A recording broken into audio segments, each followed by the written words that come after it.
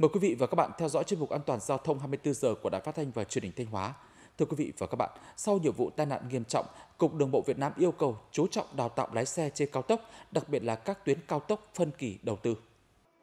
Cục Đường bộ Việt Nam yêu cầu Sở Giao thông Vận tải các tỉnh, thành phố chỉ đạo các cơ sở đào tạo lái xe thực hiện đào tạo lái xe đảm bảo đủ thời gian, nội dung chương trình đào tạo theo quy định. Đồng thời căn cứ chương trình khung đào tạo lái xe trên các loại đường, trong đó có nội dung lái xe trên đường cao tốc thể hiện được kỹ thuật lái xe trên đường cao tốc phân kỳ đầu tư, đảm bảo tính trực quan, phù hợp với nội dung chương trình đào tạo, giúp học viên dễ dàng tiếp thu, ghi nhớ và thực hành đầy đủ các thao tác, xử lý khi lái xe trên đường cao tốc đảm bảo an toàn. Cùng với đó, tổ chức đào tạo, giám sát chặt chẽ việc sử dụng cabin học lái xe ô tô, phần mềm mô phỏng các tình huống giao thông để học viên nhận biết, học đủ các kỹ năng và xử lý các tình huống khi điều khiển xe trên đường cao tốc.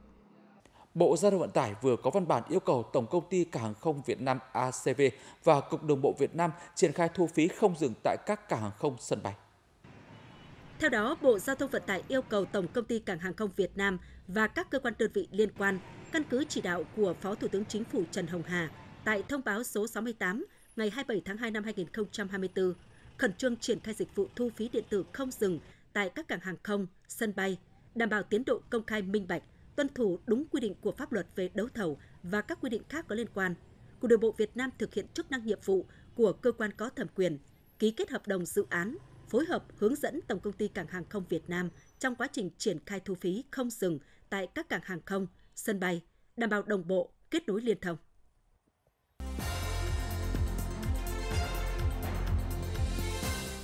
Thời gian qua, tình trạng xe quá khổ quá tải, xe cơ nới thành thùng vận chuyển hàng hóa trên các tuyến quốc lộ 47 và 45 diễn ra khá phức tạp, tiềm ẩn nguy cơ cao mất an toàn giao thông và làm hư hỏng các tuyến đường. Nhằm chấn chỉnh tình trạng trên, Phòng Cảnh sát Giao thông Công an tỉnh đã tăng cường lực lượng tuần tra kiểm soát, phát hiện và xử lý nghiêm các phương tiện vi phạm tải trọng trên các tuyến đường. Tuyến quốc lộ 45 và quốc lộ 47 đi qua các khu vực tập trung nhiều mỏ khai thác khoáng sản, vật liệu xây dựng thuộc địa bàn các huyện Đông Sơn, Thiệu Hóa, Yên Định, Vĩnh Lộc. Hàng ngày, lưu lượng phương tiện ô tô có tải trọng lớn, vận chuyển hàng hóa lưu thông trên tuyến rất đông. Tình trạng xe cơi nới thành thùng vượt quá kích thước quy định, chở hàng hóa quá tải trọng thường xuyên xảy ra. Chỉ trong một thời gian ngắn ra quân tuần tra kiểm soát, các đội cảnh sát giao thông số 1 và số 2 thuộc Phòng Cảnh sát Giao thông Công an tỉnh Thanh Hóa đã phát hiện, lập biên bản xử lý nhiều trường hợp vi phạm. Đội cảnh sát giao thông số 1 đã bố trí tuần tra kiểm soát xử lý vi phạm theo kín 24 trên 24 trên tuyến quốc lộ 45 và tập trung ờ, xử lý về các hành vi là nguyên nhân trực tiếp đến xảy ra tai nạn giao thông, ví dụ như là quá tải, kích thước thành thùng. Từ đó và góp phần giảm và kiềm chế tai nạn giao thông xảy ra trên tuyến quốc lộ được giao phụ trách. Theo phòng cảnh sát giao thông, sau khi đơn vị triển khai lực lượng tăng cường kiểm soát, xử lý vi phạm, tình trạng xe quá khổ quá tải lưu thông trên tuyến quốc lộ 45 và quốc lộ 47 những ngày gần đây đã giảm đáng kể so với thời gian trước đây.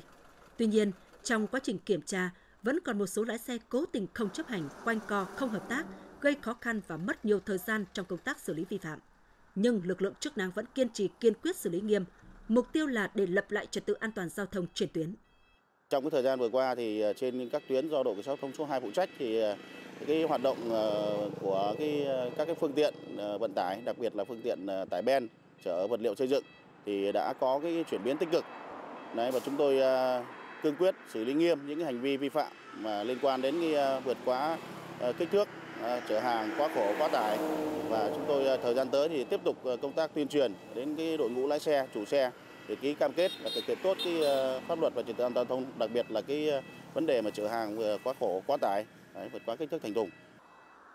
Thời gian tới, Phòng Cảnh sát Giao thông sẽ tiếp tục duy trì các tổ công tác tuần tra kiểm soát trên các quốc lộ, tập trung địa bàn có các mỏ, bãi tập kết vật liệu xây dựng và công trình đang thi công sàn lấp, kịp thời phát hiện, ngăn chặn xe quá tải, cơ nới thành thùng, phóng nhanh, gây mất an toàn giao thông, bảo vệ kết cấu hạ tầng giao thông, kiềm chế tai nạn giao thông. Chuyên mục an toàn giao thông 24 giờ hôm nay xin được kết thúc tại đây. Cảm ơn quý vị và các bạn đã quan tâm theo dõi.